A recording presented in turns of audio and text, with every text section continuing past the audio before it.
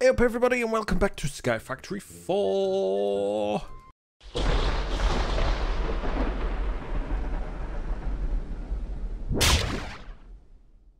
It's me, look, me, with a little tiny wooden pickaxe, isn't that amazing? Right, I have a plan for this episode. Would you believe it? No, me neither. My plan is, I want to get some more chicken seeds planted. Yes, chicken seeds, if you've seen the last episode, you know, go back and have a look. It will explain all. I want to get a market crafted, and I also want to build a mob spawner. That should be fun. So we can start farming some mobs and basically see what kind of loot they drop. So first things first, we need to get some chicken seeds. Let's see how this little chickadoo's doing over here. How you doing, chickadoo? You doing well? You are growing cooldown 9 minutes. Okay, so it should grow at some point during this episode. Um, for the market, I do believe we need some red dye. So let's get some of these poppies here so we can uh, smush them up and turn them into some red dye because we need some red wool. If I remember correctly from the recipe that I saw. Let's get some bone meal. So I think this is our uh, bone sapling. Yes, that's the one. So we've got two in there, but we'll just get some of this resin and stuff. We're gonna need a load of logs and a load of slabs later for making our for making our mob spawner. God, words. Bone block. Yeah, is that how you do it? Right, let's pop that into there. Yoink. Lots of bone blocks, and now I think. Oh, I've done this right. Sneeze break. Yeah, I thought I had. I got a load of it in here as well. So I don't know why I did that. Right, potato, potato. Carrot, carrot. We can expand this farm, so that's not going to be an issue. Just keep doing this. And just grow all this wheat and get all these seeds. There we go. Super easy. We'll plant some of them. So we can get more. Let's get more wheat. Because we're going to need a load of wheat to feed all the animals anyway, once we get them growing and get breeding them a bit normally. So we'll have to make as many chicken seeds. Where's our acorns? Acorns, acorns. Cottonwood? Cottonwood? We only need five, really, don't we? And... Chicken seeds! There we go. Five chicken seeds. Right, let's go get these planted. Get these little dudes growing away. And then hopefully by the time these have uh, grown up into little baby chickens, we may, well... Well, that was annoying, wasn't it? Be right. Chicken seeds planted. Now we need to... What do we need to do? We need to make some slabs. Because we're going to need to build a big area chock full of um, well, it's going to be a big area basically so we can build the mob spawner. We also need um, planks. So we've got lots of wood here. Lots of planks. Oh look, look at that. Boop. And just a few extra. So what we got? One two three four five six stacks.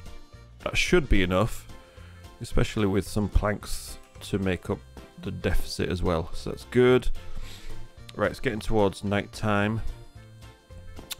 Where should we do it? I think we should probably do it over this way. So I think we need to be about 25 blocks away for the mob spawner. I don't know why I've got that magic number in my head, but I've seen it and I heard it somewhere. So I'm going to build a bridge 25 blocks away to build the mob spawner. Um, and then I'll show you the basic area and then I'll go through the process of how we do it. Right, I've got my nice long bridge. So this is where I'm going to start building the zone for the spawner. What I want to do is I want to have it um, two blocks around the outside of it and then I need to leave three blocks space in the middle for the actual construction of the spawner itself. The reason I want to leave two blocks around the outside is because I want to put fence around it just in case and then I've got room to walk around and just hack at the mobs that are inside. And depending on where the loot falls, I'm going to leave space all around the outside of it for it. So I'll get the base built down. It can be as wide across as you want it to, but you need to leave the three blocks width, and you'll see why. here we are. We have our platform placed ready to start building our mob spawn. As you can see, it is rather large at the moment. And as it stands, because it's constructed of slabs, there is no possibility of anything spawning on here Um, because um, Minecraft rules and all that. So if we press F7, it, it shows nothing because F7 shows the light levels or something. It's another mod that shows you whether mobs can spawn in an area or not. So what we need to do is make it so that we can spawn some mobs in here. Um, so starting from here, because I'm going to have to put something around the outside there and leave the two blocks. So we're going to do a line of slabs down the middle, like this, all the way to the other side. Now, if I do the light level thing mod, you can see now here, there is a possibility so the yellow lines means there is a possibility that mobs will spawn on that. Now, we've got to be careful here. Because it is got access to our base and we don't have a sword. We only have an axe to protect ourselves. So maybe I should have brought some torches with me. But it is nearly night time. So I'm just going to go sleep the night away. And hope that nothing spawns in between us sleeping. And cracking on with the next one. Good morning. right, nothing has spawned. That is good. Let's go check how the chickens are doing. This wheat's growing nicely. You're still wandering around. Let's make sure you can't escape. Oh! Big old chicken! It's proper chicken now. Look at that. Oh, look, we've still got these on. That means stuff can spawn around here. We'll best get some torches down at some point as well. So 28... All seem to be at 28%. Nice. Growing well. See? This is all ready for us to start working on the next level. Let's just have a quick nibble. But next level, we're going to be putting some planks down. Because as wonderful as this is, um, trying to harvest them at this level is going to be a pain because we're only going to leave one slab width to actually attack the mobs so they can't attack us. So what we need to do is raise this up so we're chopping away at their feet. And yes, I am doing this all from memory. Would you believe it? So now, now we've got this raised up like this, it's going to be much easier to attack the mobs that actually spawn in there. And I've just realised I've done a derp. Because I need to step up here. So what the next plan, we need to start building the walls and the roof. Right, we need to make it tall enough so that we can get some endermen in here as well. So we need to make it at least three blocks high. So let's get rid of those. So as you see from that, ooh, that was silly because now I can't use my step to get up. We've got the gap underneath here so we can attack anything that spawns, right? So let's work on the first wall so you can see how it's got to be. Right, so now you see we have our nice lovely high walls there.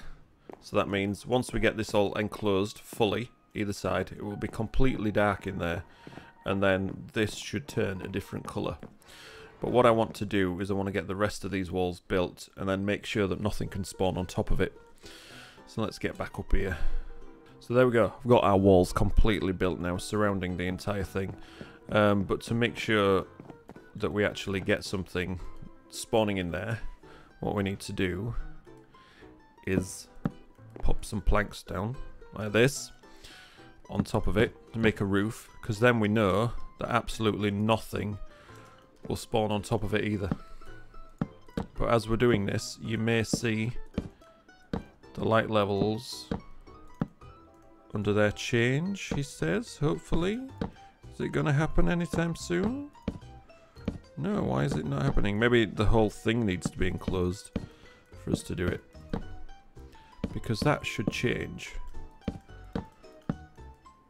from yellow. There you go, you can see it just over there, look. So that has now changed from yellow to red, which means that is a place that mobs will definitely spawn. And obviously the reason we're putting this on the top here is to make sure that nothing spawns up on the roof and drops down and comes attack us while we're busy doing something else. Did you did you hear that change?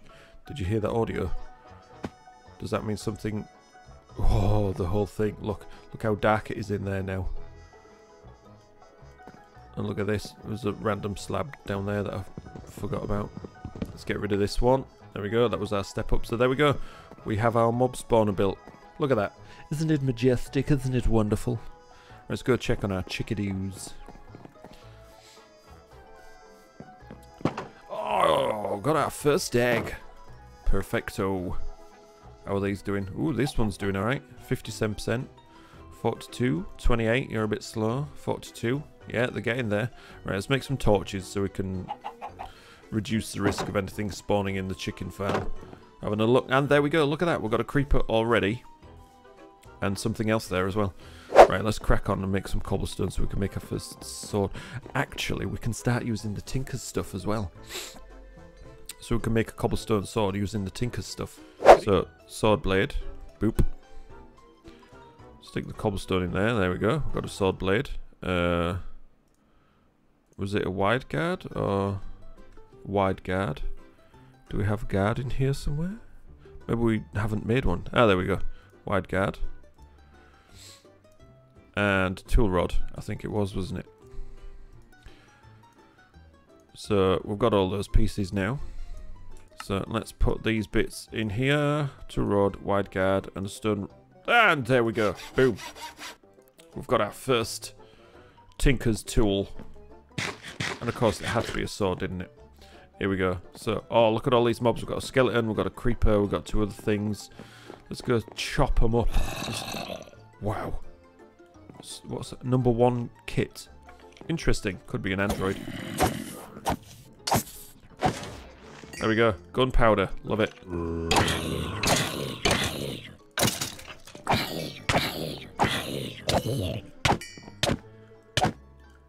Wow. Matter overdrive. Yeah, that's Jared. Something or other. That's not doing a lot of damage. Oh, because it's, it's broken already. Put that back in there. You get some of that cobblestone out of there. It's been a while. Pop that in there. And there we go. Nicely repaired. Let's go finish what we started.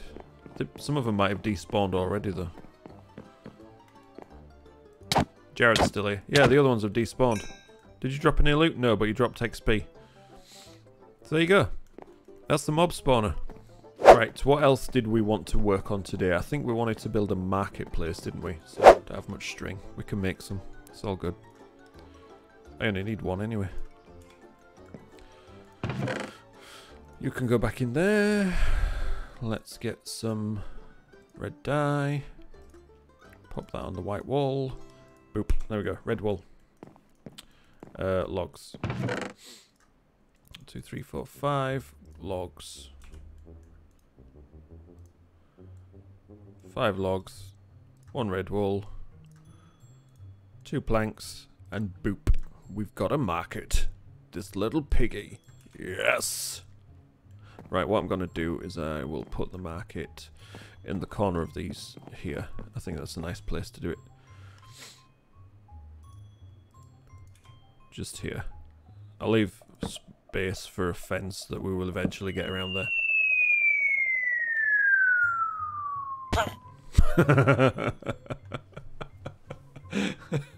Love that entry there.